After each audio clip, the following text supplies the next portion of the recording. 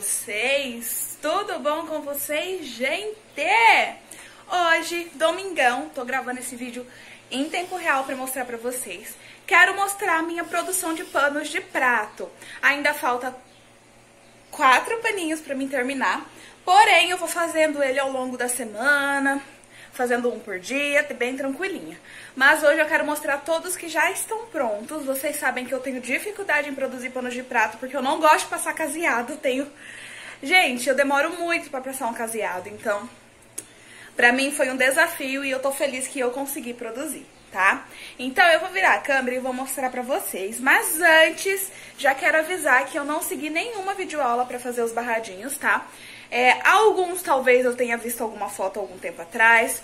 Outro, eu acabei de descobrir que tem um bem parecido lá no canal da Ana Paula Crochê Barbante. Então, se você tem interesse em fazer barradinhos, o canal da Ana Paula tá lotado de barradinhos super fáceis pra você tá fazendo. Então, é só colocar aí, ó, Ana Paula Crochê Barbantes que você vai encontrar. O canal da Josi de Paula também tem várias opções pra vocês, tá bom? Não precisa produzir exatamente os que eu produzi, porque eu fiz sem videoaula. Gente, outra coisa, criei outro canal. Vou deixar o link aqui na descrição do vídeo. Lá vocês vão ver a minha rotina.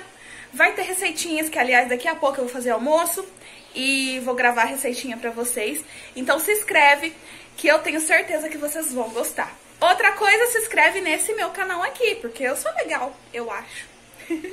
se inscreve aqui, deixa o joinha, me segue no Instagram que vai estar passando aqui em cima pra vocês, tá bom? E agora chega de enrolação, deixa eu virar a câmera que eu vou mostrar os barradinhos.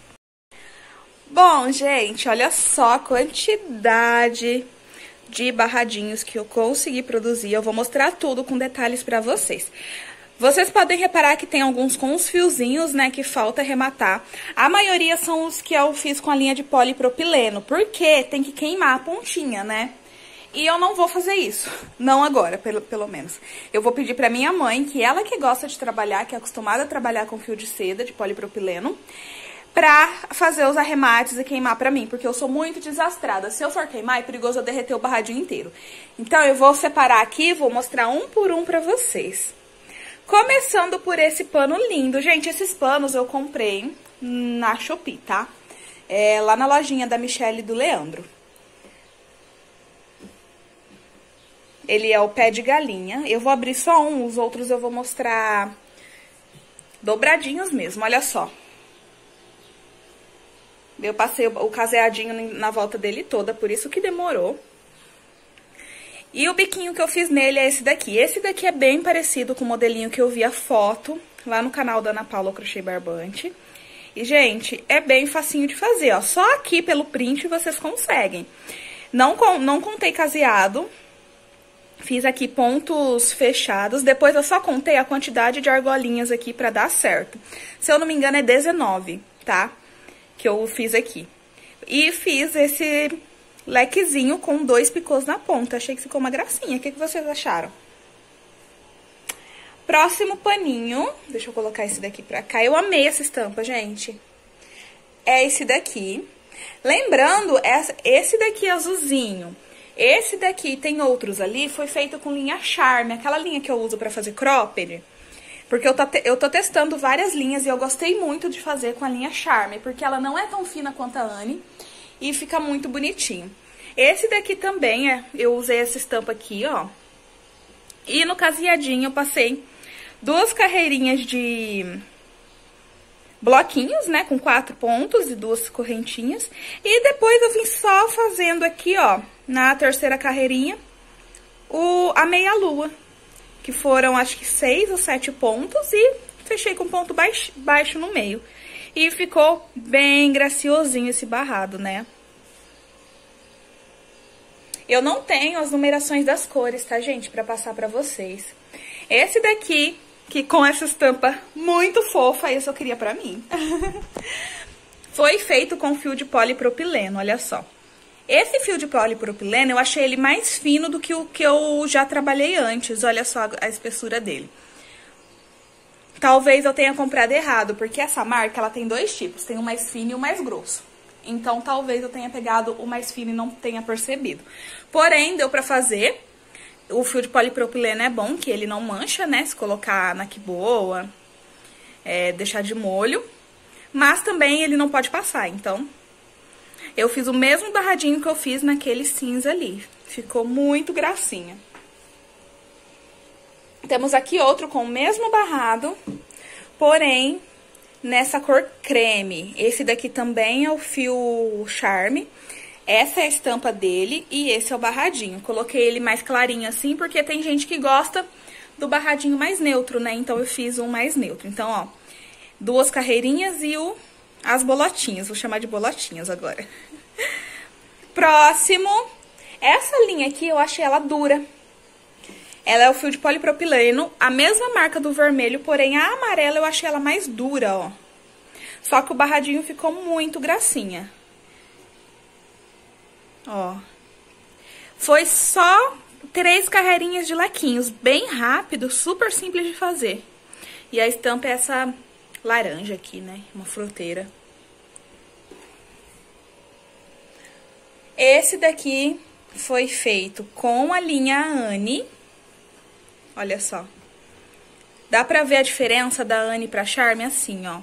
A Charme é um pouquinho mais grossa, o barradinho fica um pouquinho mais encorpado. E esse daqui fica um pouquinho mais delicadinho, né? Porém, eu prefiro a Charme.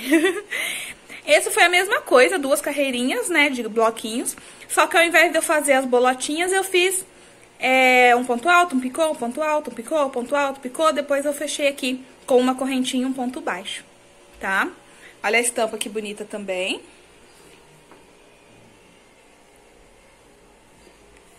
Temos esse que é de polipropileno, não tá arrematado, olha só. Com essa estampa perfeita de panda, gente, que coisa mais linda.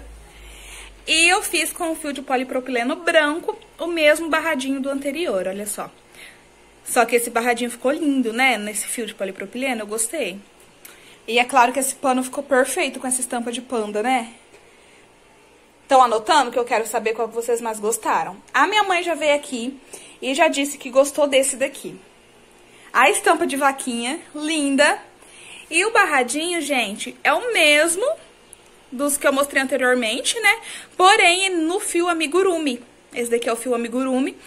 E ele ficou bem grossinho, né? Eu só fiz esse nesse fio porque eu achei que, que ficou muito grosseiro. Mas, bem lindo, né? Olha.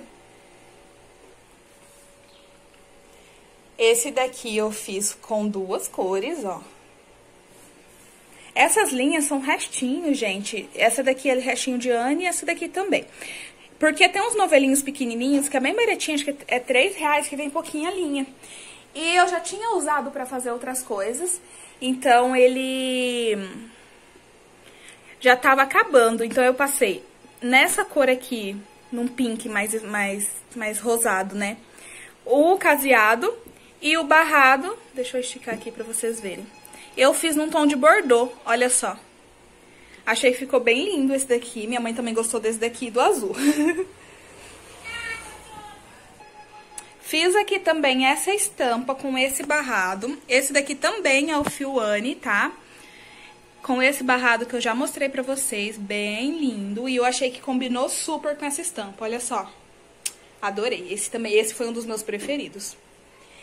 Esse também tá na minha lista de queridinhos, esse não tá arrematado, ó.